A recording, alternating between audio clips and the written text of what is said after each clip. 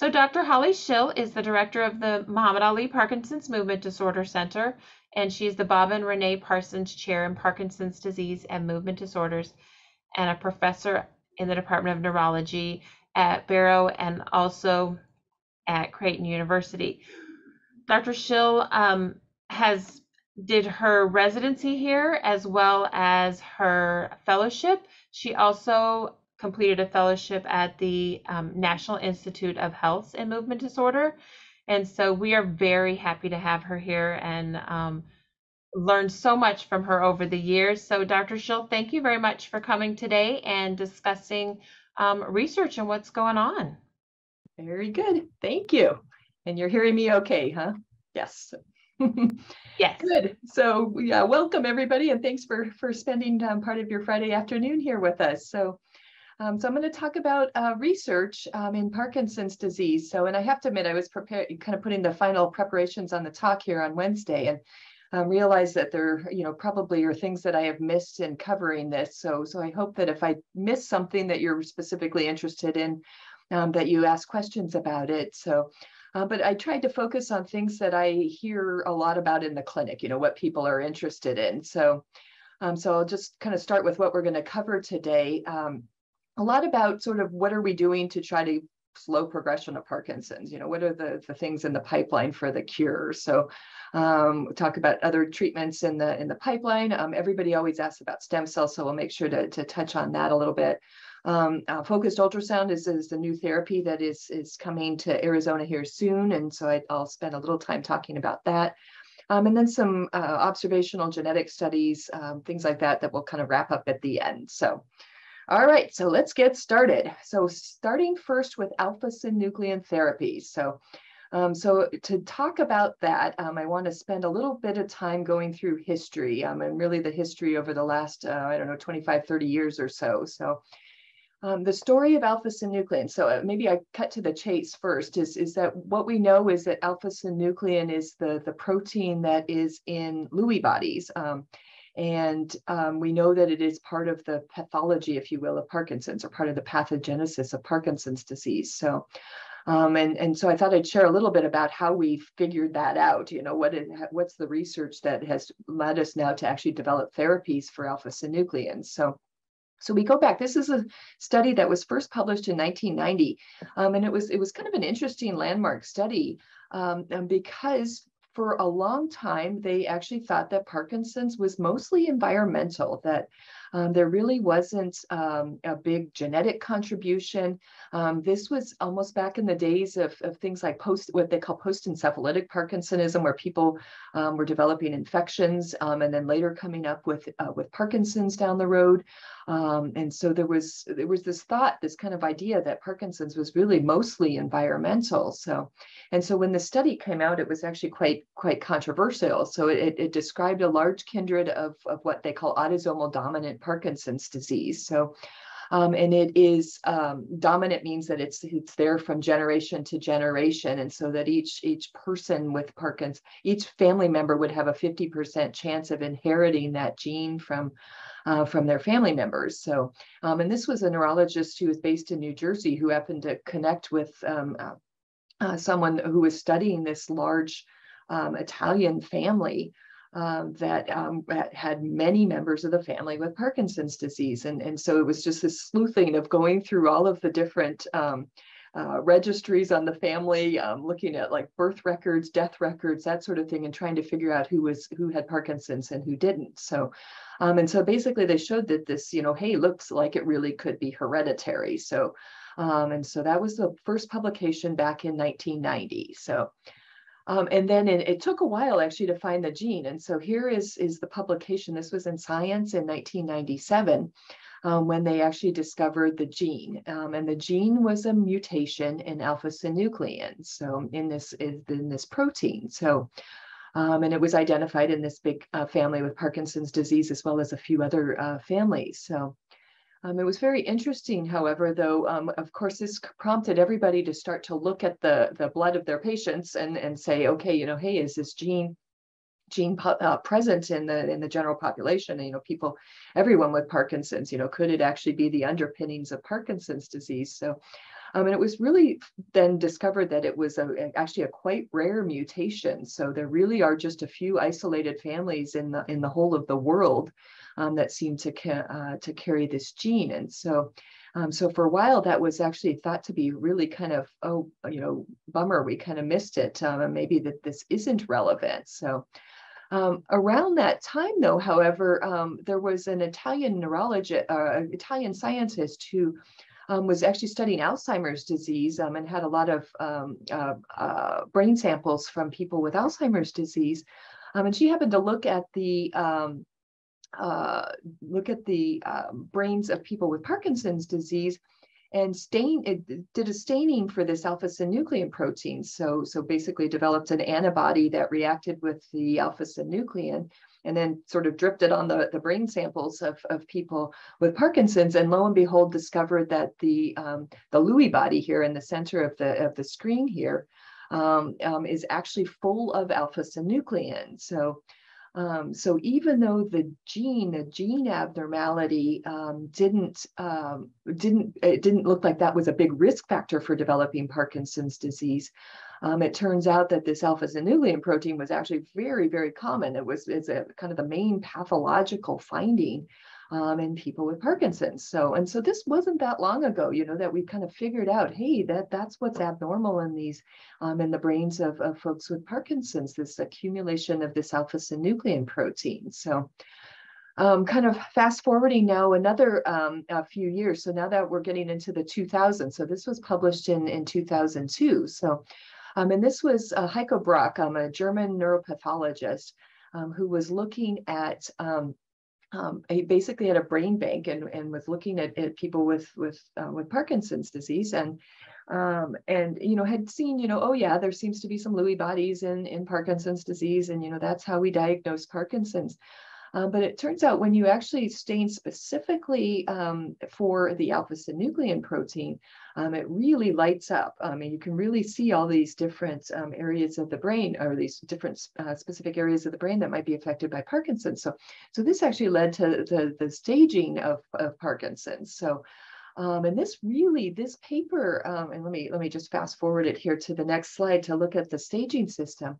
This really has allowed us to understand how Parkinson's starts and how it progresses. So, or where it starts and how does it progress over time. So, um, and, and some of you may know um, some of these things. So, so when we look at the brain areas that are affected um, um by this um, by this alpha-synuclein protein, um, you can kind of tell, okay, uh, where does it start, and then how does it change over time by looking at people in, in various stages overall. And so, and so this has really taught us to learn how um, how Parkinson's changes over time. So, so we know, for instance, that things like reduced sense of smell uh, and constipation may be some of the earliest symptoms of Parkinson's. We know the vivid dreams um, that, that happen with Parkinson's um, um, are, are related to a specific area of the brain that um, are that is affected by alpha-synuclein. So, um, and so we put that into our staging system. And basically, a stage three in this staging system is is where you start to see the movement symptoms of Parkinson's. So. Um, so it's really interesting that you can have these like non, what we call non-motor features, the earlier symptoms um, of constipation, reduced sense of smell, vivid dreams, those types of things as some of the earliest symptoms.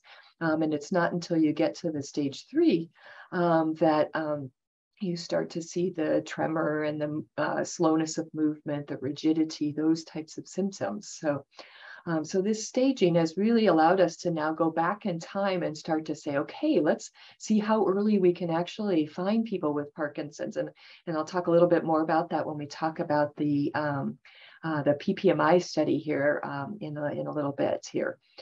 Um, so, so that's um, this kind of story of alpha-synuclein uh, for the most part. So um, now the other other factors. So, so we know it. Um, um, it's start. You know, we know it um, is relevant for for a, a, marker of Parkinson's, if you will. We know it's in the brain of people with Parkinson's. So, um, and we know it changes um, depending on how advanced it is. You know, how many years you've had it. So, Um, but what we don't, didn't know is, is whether it's relevant, you know, so is it just a marker of Parkinson's or could it actually be toxic? Is it actually a bad thing to have uh, alpha-synuclein? So, and so there's two pieces of evidence that, that say maybe alpha-synuclein is bad. So, um, um, so the, the study that I showed you about the genetics of, of Parkinson's, where there was that large family that carries alpha-synuclein, um, uh, that was a mutation in the gene. So a mutation in the gene was enough to cause Parkinson's. So this was an interesting study, though. This was published a little bit more recently um, in 2003,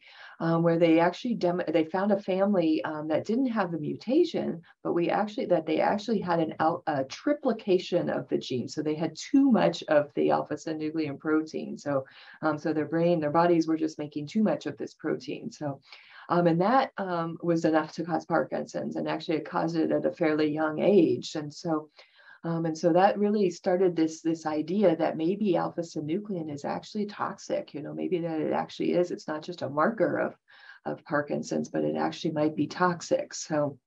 Um, um, so that was the first piece of evidence. Second piece of evidence, this was a little bit later now in, in 2008, um, and this was a really, really interesting study. It was actually quite controversial at the time. So, um, but it's worth um, worth kind of pondering on this. So, um, and I actually just uh, cut and pasted the abstract of this. So, so this is Lewy body-like pathology in long-term embryonic nigral transplants in Parkinson's disease. So it's a big mouthful. Um, uh, basically, so the, the study, the study was done um, in patients who had had uh, fetal cell transplantation. So that's the embryonic um, uh, transplants um, in Parkinson's. So there was a study done in the, um, published in about in the early 90s um, of stem cell transplantation in Parkinson's using these fetal cells. So um, and they continued to follow uh, follow people over time. And over time, um, you know, some of them went on to, to age and, and pass away. And so um, this um, uh, provided an opportunity to look at the brains and see what happened to those stem cells. Um, and what they found actually was that the stem cells um, started to contain Lewy bodies. So you say, well, big deal. What does that mean? So um, but you have to remember that these stem cells were very young. They were, because they were stem cells, they were implanted, you know, um, basically at, at, birth, you know, essentially they, they, they were um, very young, uh, young cells. Um, and it only took 14 years for them to actually develop uh, Lewy bodies. And so, um, and so uh, this would be like a, a teenager then um, developing Parkinson's disease. So um, and what this this made made people realize is that the the um, um, the there's something about the, the brain in Parkinson's that that actually starts to promote um, the alpha-synuclein storage, if you will, um, and thereby um, um has uh, produces the Lewy bodies. So um, and so th this was another kind of line of evidence that said that, hey, these Lewy bodies uh, might not be a good thing. You know, the brain is, is trying to take this protein of alpha-synuclein and trying to wall it off and, and form it into a Lewy body um, so that it isn't toxic to the brain. So, um, so putting all that together now, um, has led to this line of, of therapies now um, to treat Parkinson's. And so um, these are still in the research um, world, um, but I do want to just kind of touch on what is actually going on. So um, so that you all know. So, um, so the first um, one to, to mention, and I've been getting a lot of questions about this, so I think that there's quite a bit of information on the internet now about vaccines. So, um, so the idea is you are vaccinating somebody against this alpha-synuclein protein. So, um, so you basically form a, a, and this is the abnormal form of the alpha-synuclein protein. Um, so it's this sort of aggregated form that's thought to be the sort of toxic form of the protein. So you actually um, basically immunize people. You use a version of this protein, you inject it, just like you would get a, a flu shot or a COVID vaccine or something like that. Um, and then your body essentially mounts an immune response to that protein. Um, and then um, the idea is it starts cleaning out that abnormal form of the protein. So, um, so these um, uh, these vaccines uh, have been studied. Um, there's actually there was an original version done and I'm blanking on the name of the company that originally did it. This was an Austrian study. Um, and then now it's been acquired um, by this company Vaxxinity, um, and they're starting to, uh, they've got a kind of a new improved version of the vaccine, um, and they're starting to study it. They've, I think, done initial studies in um, uh, healthy controls, so people without Parkinson's disease, just looking at safety, um, and it does seem to meet, mount, uh, cause an immune response in people, you know, a good, a good, a healthy immune response, meaning uh, antibodies against the alpha synuclein, um, but then it also um, doesn't seem to be causing any major side effects. So, so I think we're going to start seeing um, studies now in people with Parkinson's disease now to, to start to look at kind of not only safety, but also efficacy. You know, does this actually work? So the idea with a vaccine is, is maybe you just get a uh, one shot or maybe a shot every couple of years or something like that to um, to um, keep that immune response and keep the alpha synuclein protein um, down. So um, the other um, area of research are these what are called monoclonal antibodies. So then, um, um and these are um, these are things that are a little further along actually in development. So um, the one that's probably furthest along, there's one from from Roche that uh, they've done a phase two study, and now we're getting into phase three studies. So, and these are studies that are actively recruiting. Um, and these are monoclonal antibodies. So, so the idea is instead of vaccinating people, you're actually giving them the antibodies so that the, you know, the body's not making them the, the antibodies, but that you're actually giving them the antibodies. And then those antibodies go and, and, and tackle the alpha synuclein protein. So, um, and so the idea with these is they're actually infusion therapies. So um, for anybody who's had COVID and has gotten a monoclonal antibody against COVID, um, it's the same idea. Um, you get an infusion, it shuts down the COVID. Um, this one is the same thing. You get an infusion of one of these antibodies and it shuts down the alpha synuclein protein. So, um, and they're infusions. And so the antibodies don't last very long. So they last about a month. Um, and so the idea is you actually do monthly treatments with them. So, um, so these are again still in research, and we're crossing our fingers that some of these things uh, pan out in terms of um, uh, treatment for for Parkinson's. So, so here the the companies that are um, uh, companies that are doing it, and all of them have a little bit of a different uh, take on the um, uh, take in, take on their version of the monoclonal antibodies. So um, they're all targeting um, the kind of abnormal form, though, of the alpha-synuclein protein. So um, so there is a sort of a normal form of the protein in our bodies that um, uh, presumably is doing something important.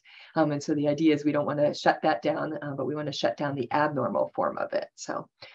And there are also another uh, long list of, of, of, strategies of different types of drugs that, you know, basically have the effect of working to break up alpha-synuclein. So, and most of these are oral therapies. So, um, and here's just a list of a few of them. So um, uh, this is a study that we're um, actually just getting started with at our site. Um, um, which is an oral form of uh, anti-synuclein um, protein. So oral meaning you can take it by mouth, so it doesn't require an injection or an infusion or anything like that. So um, um, and so uh, the idea is you take this oral form and that helps to, to kind of break up the alpha synuclein protein. So um, there's another uh, company, a couple of different other approaches. So this one uh, from Enterin, I know about that because they're looking at it actually to treat, they're sort of looking at the gut brain interaction. Um, and so the idea with this drug is that it actually might treat constipation, but also also that it might actually affect alpha synuclein uh, in the brain. So it's kind of an interesting take on the on the drug. So the others I'm uh, uh, sorry, memantine. I was going to just speak on that. Memantine is actually a drug that's approved for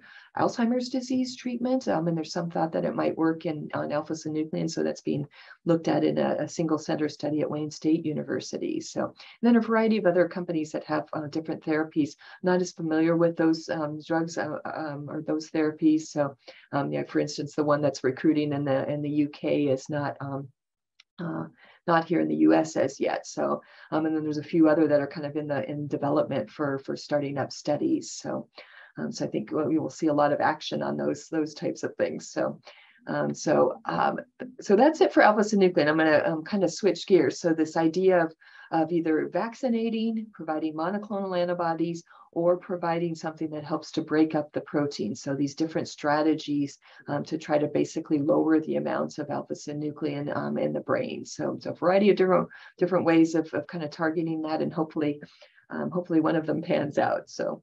We're going to switch gears to LRRK2. Um, so this is another one that came from genetics um, and is now leading to therapy. So, um, and we'll, we'll talk more about genetics here as we go, but Um, but this idea of knowing what the genes are that increase people's risk of Parkinson's and then developing uh, therapies that then sort of shut down those, those, um, those different types of genes or the gene products. So um, so LRRK2, um, so this is a, um, it's a family of, of protein kinases. So, and this was a paper published back in 2004, um, which basically identified this as a cause of, another cause of familial Parkinson's. So, um, and it actually turns out that this is a much more common cause of familial Parkinson's. So, so that alpha-synuclein protein is a very, very rare cause of, um, of familial Parkinson's, but this is a much more common one.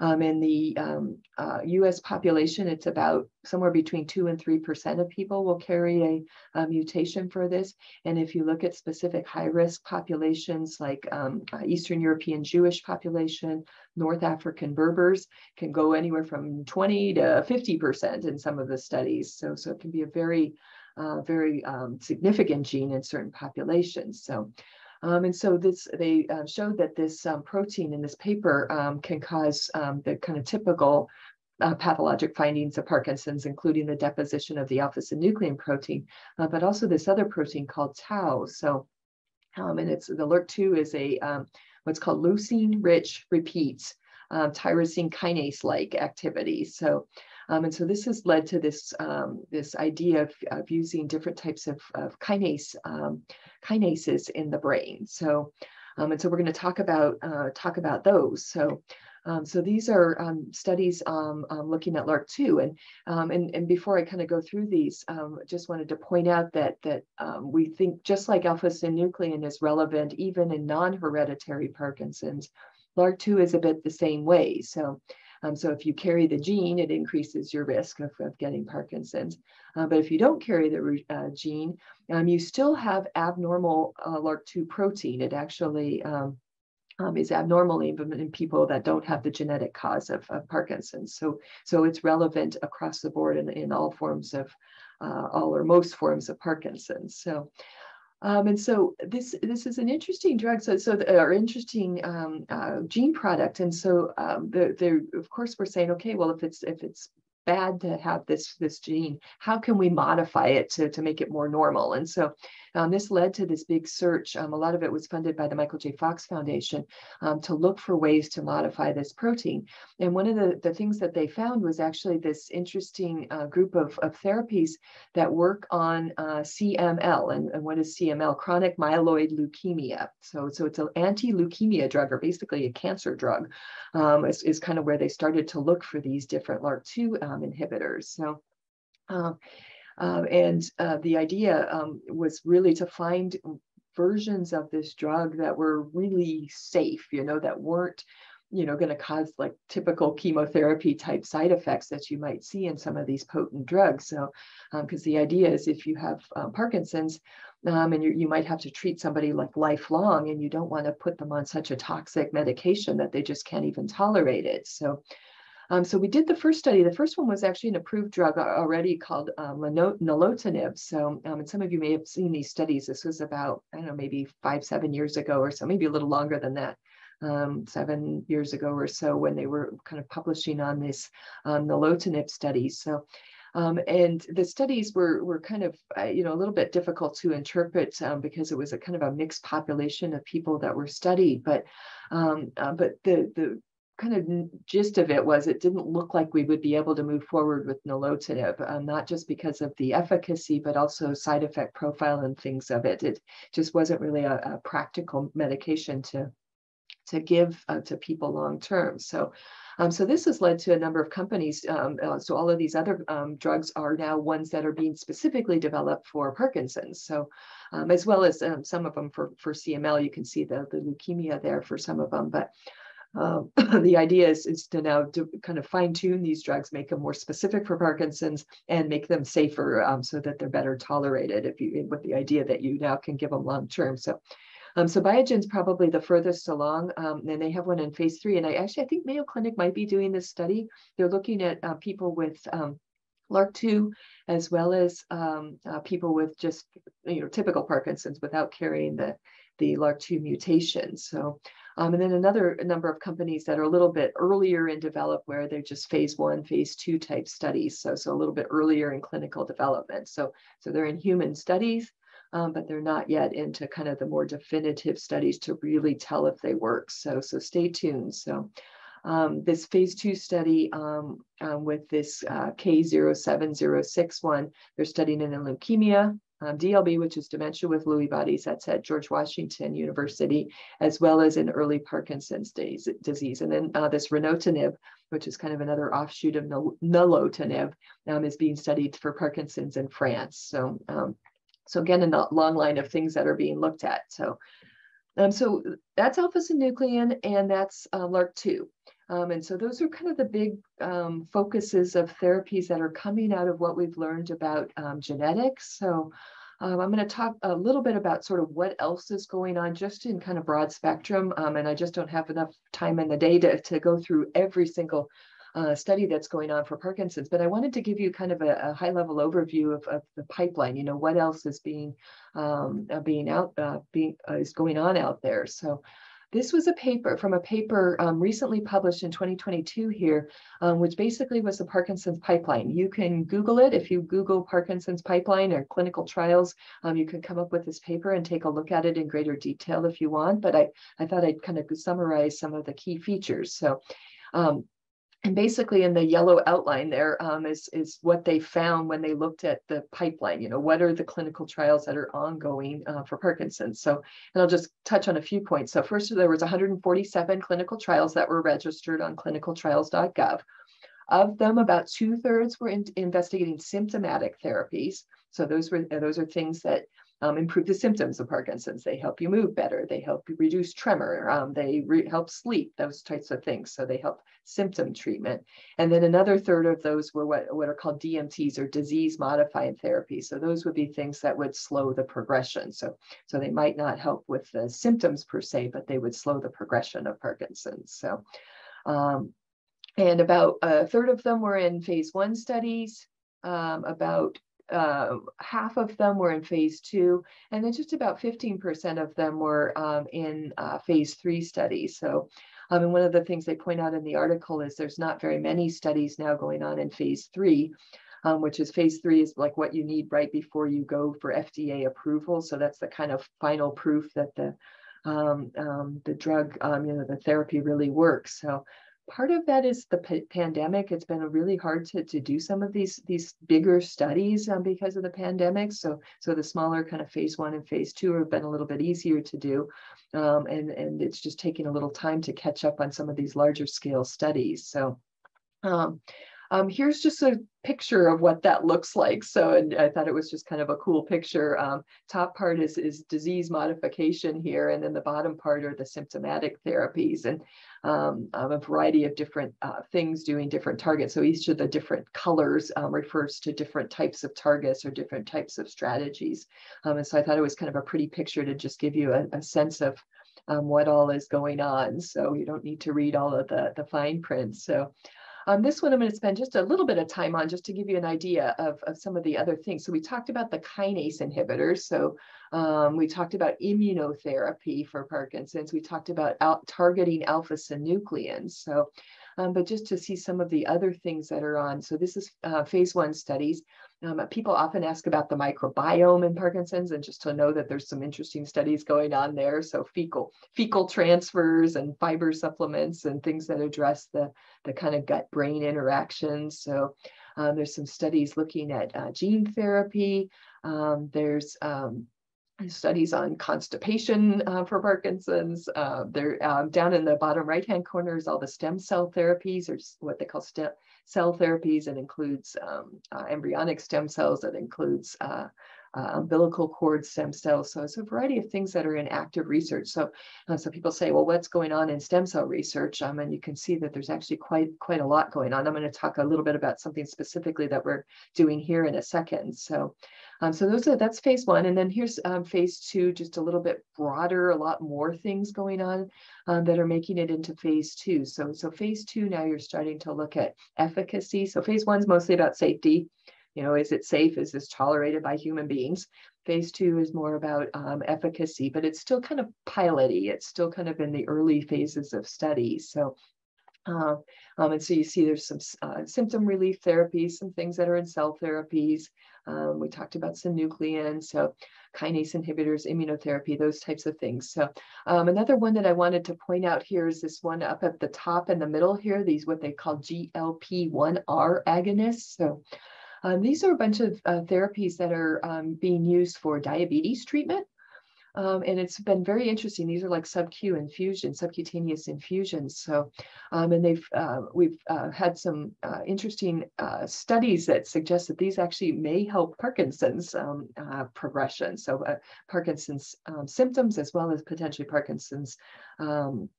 Uh, progression. So, um, so we have a study right now that's ongoing uh, called Neuraly, um, some of you may have heard of it, so it's it's been closed now to enrollment, but it's an ongoing study. We're continuing to follow people in that study, um, and that's one that's um, using the the um, compound called exenatide. So.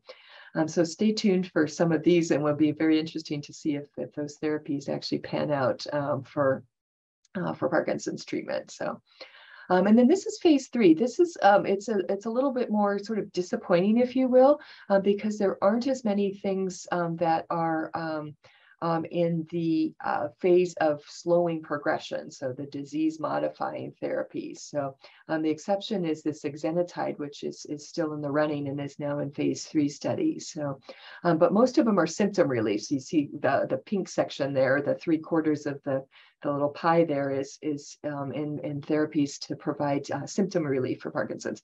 Most of that focus is going to be on things that are um, are uh, like con continuous infusion therapies uh, for keeping people's symptoms more stable through the day. And I always say it's a little bit like um, what like what we do with insulin, um, insulin pumps um, that just keep people's blood sugars stable through the day. These are things that basically keep people's dopamine levels stable through the day. So um, so they are uh, mostly subcutaneous um, uh, therapies. So, um, and stay tuned. Uh, there, there actually is um, um, a couple that are uh, very close to, to hopefully getting FDA approval here um, as new therapies for symptom treatment of Parkinson's. So, all right, so that all comes from that um, from that article, and then I just wanted to finish up before I finished on that that pipeline article um, just to show you all of the things that are in clinical trials um, for potentially disease modifying. So say things to slow progression. Um, and it is a long list. And so I hope you, um, if you learn anything from this lecture today, is, is that there um, is a lot of hope and encouragement that they that we may really find something to slow progression of, of Parkinson's. So we're doing some of these studies here, but certainly not all of them. Um, and so all of it takes, you know, kind of a worldwide effort to, to try to, to try to tackle this. So all right, stem cells. I just wanted to touch a little bit on what we're doing stem cell wise in the, in the U.S. because uh, this is another, or in in Arizona, um, because this is another one that I often get um, uh, questions about, and this is actually the specific uh, study that uh, people are asking about.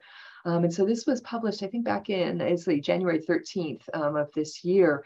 Um, so ASU Biodesign Institute receives $5.2 million from the Michael J. Fox Foundation to advance the fight against Parkinson's. So, so they were funded three studies. One of those studies um, was a study in stem cell therapy uh, for uh, for Parkinson's. So. Um, and people uh, people have been contacting us and saying, well, wow, you know, stem cells here, um, that's great. Um, um, it is the study is very it's a limited study. It's actually more of almost like a proof of concept study.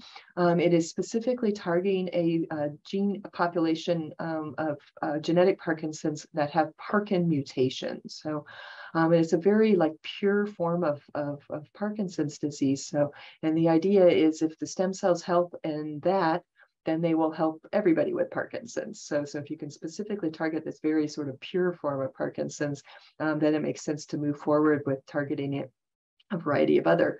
Um, it is it's a stem cells where they're implanted directly in the brain, so it requires a neurosurgical procedure. It's it's a little bit like a deep brain stimulation procedure, um, but instead of leaving the wires in in place, um, you're you're basically squirting the stem cells into into the brain um, and hoping that they make the connections. So Um, so more to come on that. The study is not up and running. It's still kind of getting put into place in terms of how it's gonna uh, how it's gonna run. So um, it's being run mostly at ASU, um, but the surgeries will be um, uh, done here at, at Barrow Neurological Institute. So um, so that's kind of where that stands right now.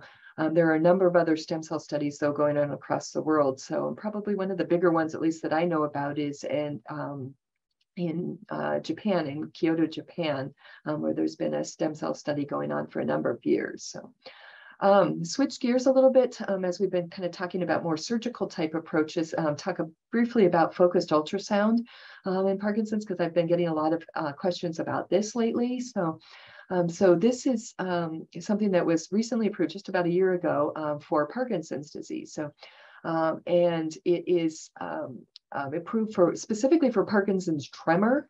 and so these would be people who have a tremor that is just sort of refractory to medication, where it's just such a strong tremor. Um, some of these folks are people that would might go on to deep brain surgery, um, but the idea with the focused ultrasound is this would give them another option, a different um, different type of therapy. So, and so I just want to explain kind of what's done with focused ultrasound. So, um, so basically you lay on um, on this little gurney here, um, and the the uh, it's an MRI scanner here. Um, and then there's this thing that basically sort of attaches to the scalp.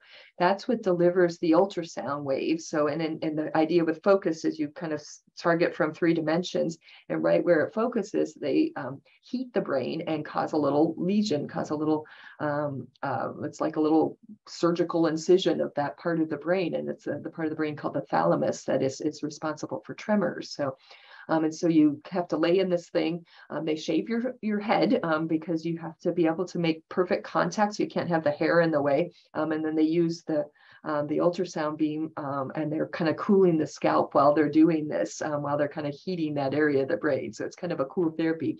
Idea is you just do it once and the tremor is better and you go on your merry ways. So um, we are just about to, to start this. It'll probably be um, towards the end of October um, that we will start doing this. So it's been FDA approved for a while. Um, it's being used for essential tremor.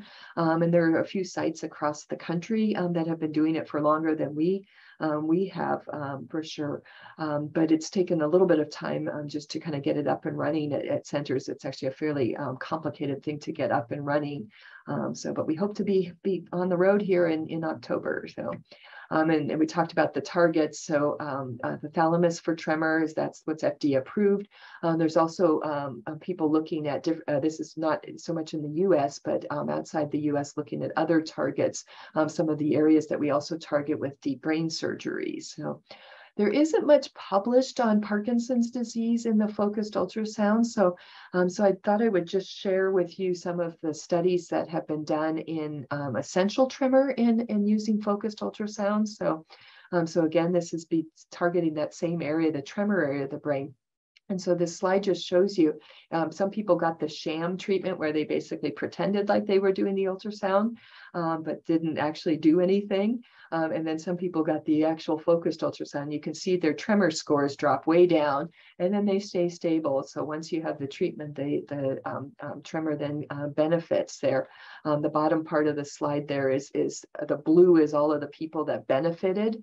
Um, and so you can see that most people got a benefit from it and only a small portion of people were actually worse. Um, just I think it was just two people in the study that were actually worse after the treatment. So the vast majority of people uh, get a good benefit from the focused ultrasound. So, um, and this was a, again, this is essential tremor, not specifically Parkinson's. So just looking at the tremor and, essential tremor, but um, this was just a recent uh, study from August of this year um, following people now out for five years with essential tremor and showing with focused ultrasound that the benefits were maintained um, after five years. So, um, and so, um, so I think, you know, kind of food for thought, if people have um, sort of medication refractory tremor, um, this might be something that they consider. if they're also somebody that might also be considering the, the deep brain stimulation. So another thing I, I was going to show, and this is an, a recent publication that I was able to find in Parkinson's. So uh, it was just a very small study, but they actually showed that people who got the focused ultrasound were really able to reduce their medications. So, so their tremor was quite a bit better. And because of that, they were able to reduce their Parkinson's medications quite a bit. So, um, so if you have um, a lot of tremor as part of Parkinson's, and you're you're you know you've been increasing increasing your medications. So um, um, this might be something to to consider as a way to actually reduce some of the medications. So. All right, so we're going to kind of um, finish here. We've got a few more a few more slides here to talk about um, just a few things. So I, I, just wanted to touch a little bit on the PPMI or Parkinson's Progression uh, Markers Initiative. So um, this is the um, biomarker study um, where we are um, following people and trying to look at things that tell us about Parkinson's progression. So um, a biomarker is basically something that you can measure in the body, um, um, either a clinical sign or something in the blood or the brain or what have you, that tells you how people are going to progress. And right now we don't really have that in Parkinson's. We don't have something that we can measure like a cholesterol level that tells you, oh, you know, you're going to be a fast progressor or you're going to be a slow progressor. So and we need biomarkers because uh, it's Parkinson's is very, it's slowly progressive, it's heterogeneous. And so you almost have to follow people over a long period of time to be able to really get a sense of, of how they're progressing. So this study has been going on um, for over 10 years now. Um, the first version of it was PPMI 1.0, and that has about 900 people, 932 people that we're following. Um, and then the 3. Point, or 2.0, which has uh, been going on, I don't know, now about a year and a half or so, for not very long, now has about 372 people on it.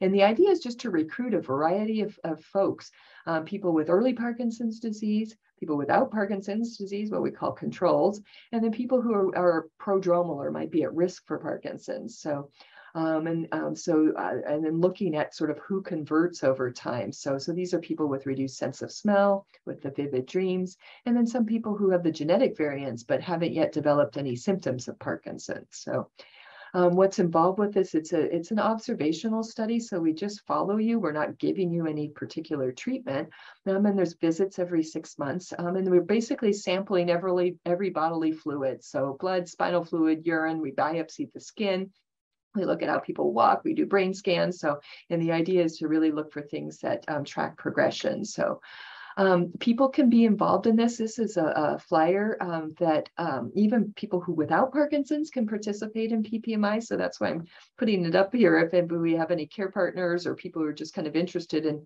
in, in contributing, um, anybody over the age of 60 can participate in the PPMI study. Um, and the first step in doing that is, is just to do a screening uh, screening test for sense of smell.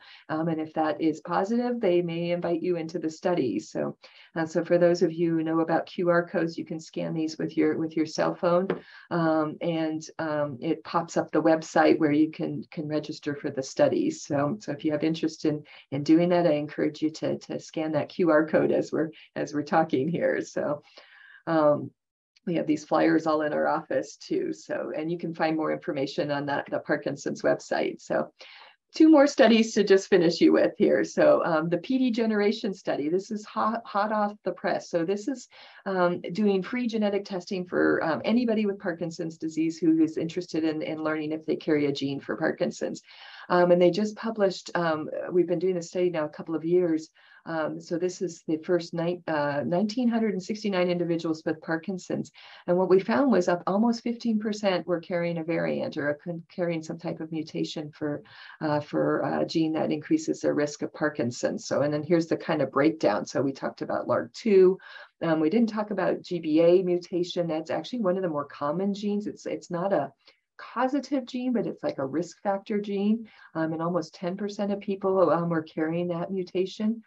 If you look at people that are, have high risk ancestry, so these are people like Eastern European Jewish population, a third of them were carrying a gene for Parkinson's.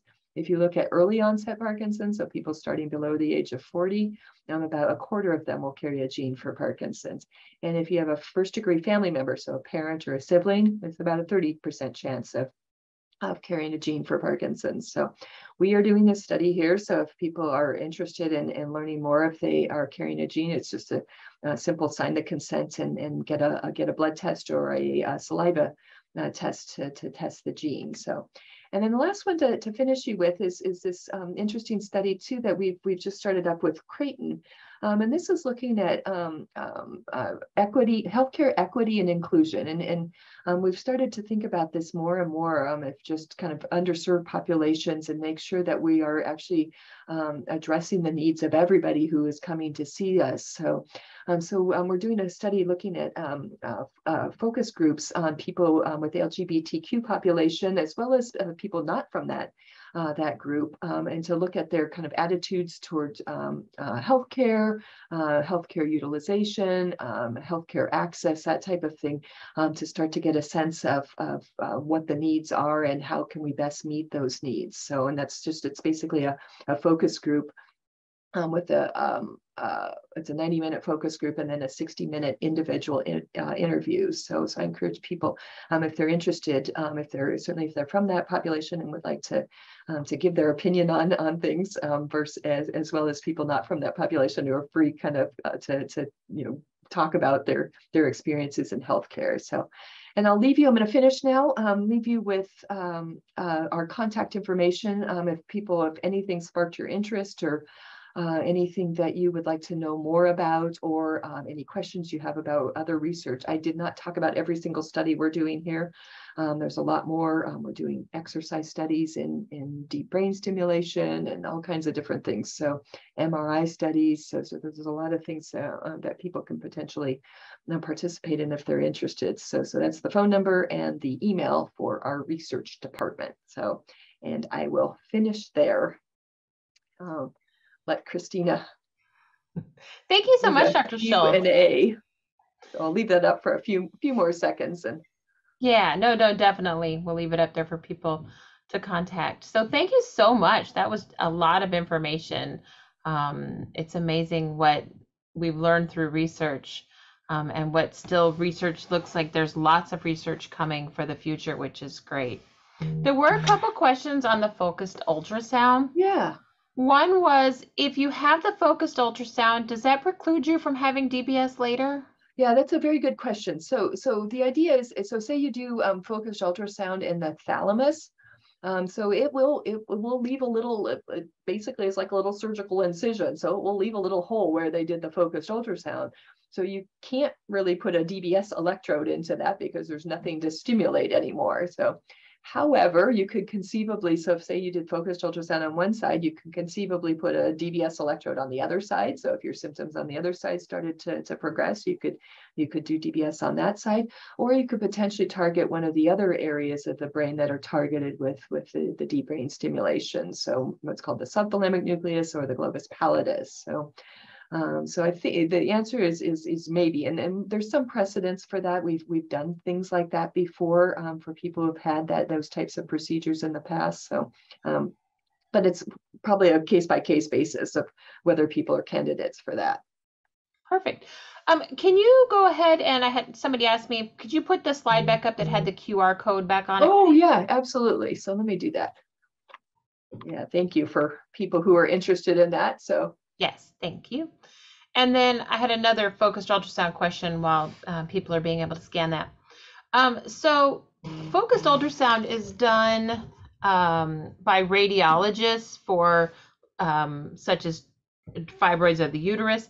For ultrasound for focused ultrasound for for this that we're looking at will it be done by the neurosurgeon or is it done by radiologists yeah well? that, that's a really good question yeah so so the point is yeah um, focused ultrasound's actually been around kind of a long time and i think it's available in tucson for for uterine fibroids and so they just kind of burn the fibroids and i think it is just done by uh, by interventional radiologists so the, the focus ultrasound for the brain is done by a neurosurgeon. So, and and the idea, the real reason for that is they're already used to um, um, targeting areas of the brain with the deep brain stimulation. So, um, so they use the MRI and they say, okay, X marks the spot. This is the sweet spot where we want to do uh, do the ultrasound treatment, so they can get can correctly identify that.